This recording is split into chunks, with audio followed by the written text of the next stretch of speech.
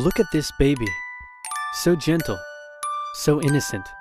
You'd think this child would grow up to become a good man, an honest man. Well, think again. Hitler was born Adolphus Hitler in 1889 in a small town in Austria-Hungary. His father, Alois Schicklgruber, was born out of wedlock, but eventually changed his name to that of his stepfather, becoming Alois Hitler. Alois was a mid-level Austrian customs officer, not really rolling in cash, but certainly rolling in women, he married a rich older lady, but then immediately started having affairs, including one with a much younger house servant. A few years later, he left his sick wife to be with his mistress, but since the Catholic Church didn't allow divorce at the time, he couldn't marry her. So he waited for his old wife to die and had a child in the meantime. Then his wife died, so he married his mistress and had another child, but then his new wife got sick, so he employed his much, much younger cousin Clara to take care of her. Then when his new wife died, he immediately got Clara, his cousin, pregnant, and then married her. In that order, you rock star. Clara and Alois had three children together, who all tragically died while in infancy. So when the fourth child, Adolf, came along, Clara spoiled him rotten. The Hitlers had two more kids, and the family moved around a few times, meaning Adolf had to attend five different elementary schools. Adolf's father was strict, quick to anger, and took most of it out on the eldest son until he had enough and ran away at the age of 14, leaving seven-year-old Adolf to do most of the chores and get berated by his father. The result was a difficult relationship with his dad while he was super attached to his mother, who worried over him and his health excessively. Hitler did well in school at first. His grades were good and his teachers praised him. He was popular with the other kids and enjoyed gathering them together to play war games. He also loved reading and particularly liked stories about cowboys and Indians. As he grew older though, he started to get into trouble. He was caught smoking once, organized a raid on a local orchard, tormented his pro-Austria religion teacher with symbolic gestures, displaying his allegiance to the idea of united Germanic people under a greater German state in defiance of Habsburg Austria. You know, the usual. All of this enraged Adolf's father, who punished him severely. The area of Austria-Hungary that Hitler lived in was once part of the German Confederation, and many of the people who lived there considered themselves to be German. Adolf tended to just go against whatever his father said, and since his father was an Austrian public official, Hitler got big into German nationalism. This enraged Adolf's father, who punished him severely. Around this time, a family tragedy struck. His six-year-old brother, whom he loved a lot, died of measles when Adolf was 10, and was buried in the cemetery just across from their home. Around this time, neighbors reported a change in the young boy. Strange behaviors such as talking to trees and staying up late staring at the stars from the cemetery walls. He lost interest in religion, and his school grades started to decline, which enraged his father, who punished him severely.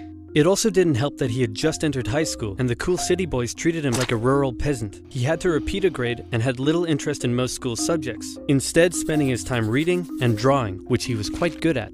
One day his father said, Son, someday you'll be a big balls public official like me. And Adolf replied, No, father, I'm going to become an artist and soar high above the clouds with the eagles. This enraged his father, but by this time he was an old ass man, so he just sort of let it go. And then died of a lung hemorrhage. Hitler just about passed his final semester and celebrated in the typical way by getting blackout drunk and wiping his ass with the certificate. However, he didn't take the overall final school exam, instead just dropping out. The now 16-year-old boy was unemployed, without much purpose in life, and for the next three years he stayed that way. He spent most of his time at the opera with his only friend, August Kubizek. Kubizek later wrote his memories of the young Hitler and said he was passionately interested in many things, felt he was in many ways better than others his age, was quick to anger just like his father, and an incredible speaker once he was ranting. When he was 18, he said a very sad goodbye to his mother and went to Vienna to take the entrance exam for art school. He failed. Soon after, he had to return home. His mother was sick and her health was rapidly deteriorating. Hitler stayed by her side, and when she eventually died, the family doctor said he had never seen someone so overwhelmed with grief as Hitler was.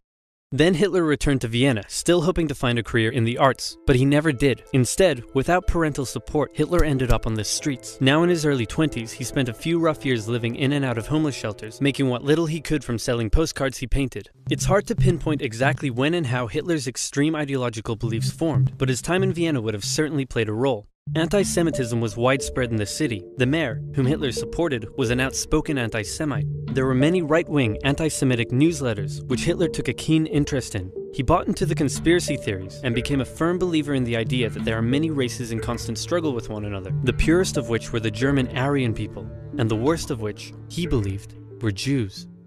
Since Austria Hungary was a multi ethnic empire full of lesser races, Hitler wasn't a fan. So when he was 24, he moved to Munich in Germany to avoid doing military service, and for one more year he was a drifter on the streets, until something huge happened. In 1914, long-standing tensions in Europe erupted into the First World War. Crowds across Europe celebrated the news. Within days, Hitler volunteered for the German army. The war gave him a purpose in life. His fellow soldiers gave him friendship and brotherhood. Despite the horrors of war, Hitler considered it to be the best time of his life.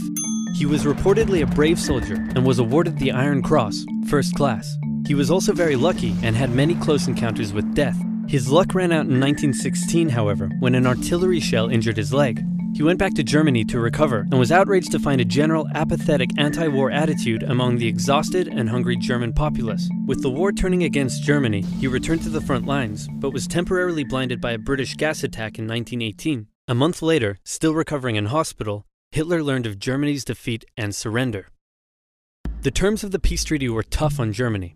It had to pay a lot of money and lose a lot of soldiers. These conditions weakened Germany and humiliated the German people. Europe's borders changed after the war too. New countries were formed out of Russia's lost territory, Austria-Hungary was dissolved, and there was one big new country splitting Germany into two. Hitler, seeing the country he loved humiliated like this, said that hatred grew in him for those responsible, by which he meant communists and Jews, who he believed had stabbed Germany in the back by spreading dissent and anti-war propaganda back home.